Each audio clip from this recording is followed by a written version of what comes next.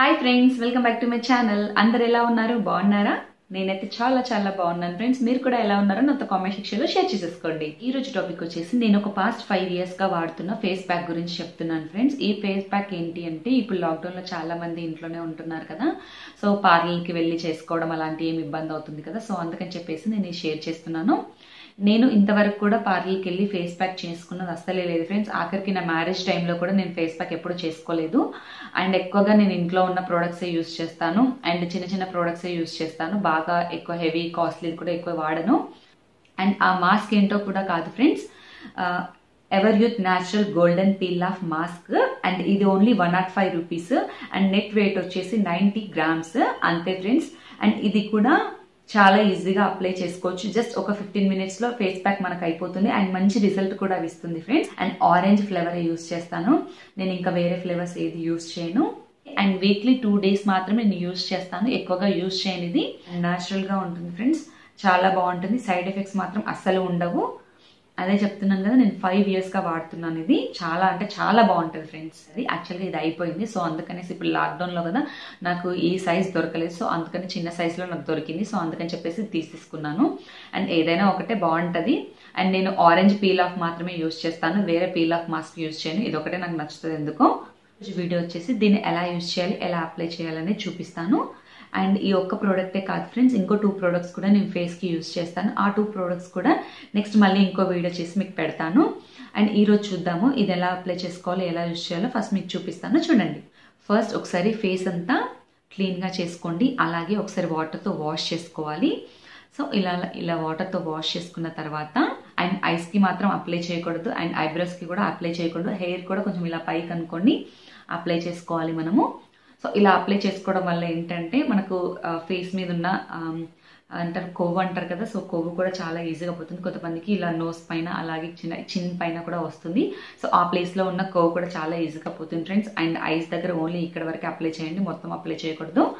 So ఈరోజు మొత్తం మీకు చూపిస్తాను ఎలా అప్లై చేసుకోవాలో ఏంటి అనేది.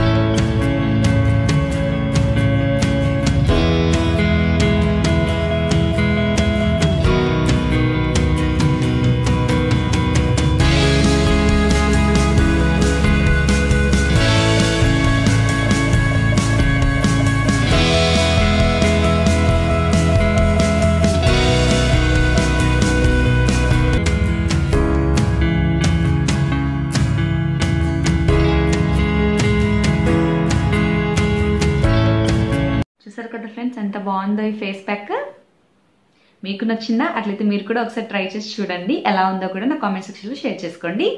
ఈ వీడియో కనుక మీకు నచ్చినట్లయితే లైక్ చేయండి షేర్ చేయండి. For more videos please subscribe to my channel thank you for watching next వీడియోతో మళ్ళీ కలుద్దాం.